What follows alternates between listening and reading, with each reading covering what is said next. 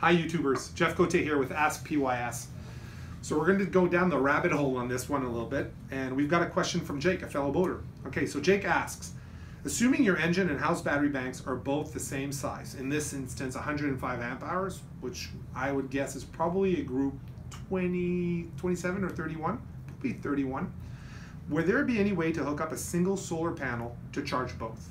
Or do I have to select one and put a battery selector switch to both to do that? Okay, so great question from Jake. Um, there are solar controllers, by the way, that output, like the solar controller itself has two outputs. We don't normally use that, and they're not that all that common, but they do exist. And if any users on YouTube have experience with actually a solar controller that connects to two battery banks, share down below and let me know how your experience is. Well. Normally, normally, I'd say 98, 99% of all our installs have a single, single solar controller.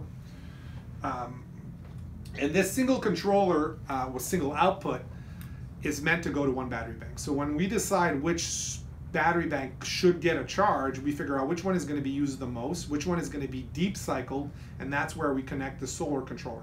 So the panel connects to here, and this connects to the battery. Now, here's the key. If you want to share this device to another battery bank, then what I would suggest you do is you actually put in what's called an echo charge. It's a small battery combiner um, that is directional, so it allows current to go only one way and not the other way. And it would have your house battery share a charging voltage with the engine battery via a echo charge. Xantrex makes that, and it's a directional battery combiner. And it's a way for you to make sure that not only your house battery bank, but also your engine battery bank gets a charge from one single solar panel and one single controller. So that was a really good, interesting question from Jake.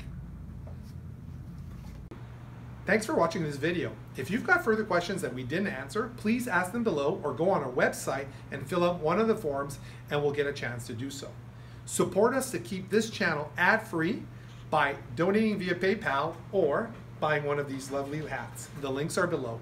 And lastly, if you haven't subscribed to our channel, please do so. That way you'll get the regular content. And in closing, thanks for watching.